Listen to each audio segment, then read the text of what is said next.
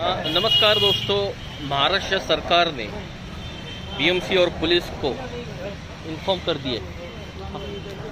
तो क्या हुआ? मैं तो पब्लिक प्लेस पे हूँ और वैसे भी जानकारी के लिए हाँ तो शॉप आ रहे तो ये बताने कि शॉप पे अभी सिंगल सिगरेट नहीं दे सकते हाँ क्या?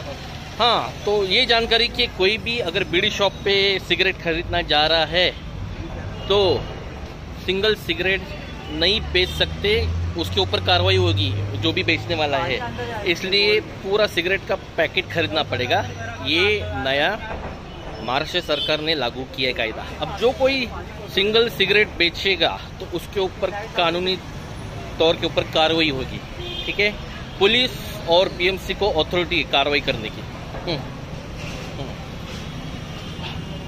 सिंगल सिगरेट बेचने का अथॉरिटी बंद कर दी है बैन बैन बैन लगाया है, ठीक है? अभी आप सिगरेट जो भी है, दुकानदार, बीड़ी बेचते हो, उनको पूरा पूरा सिगरेट का बॉक्स और बीड़ी बेचना पड़ेगा। सिंगल सिगरेट नहीं बेच सकते, कोई भी शॉप दुकानदार, कोई भी हो, ठीक है? पूरा बॉक्स बेचना पड़ेगा। अगर सिंगल सिगरेट बेचते समय पाया गया तो उसके ऊपर कानूनी कार्रवाई होगी।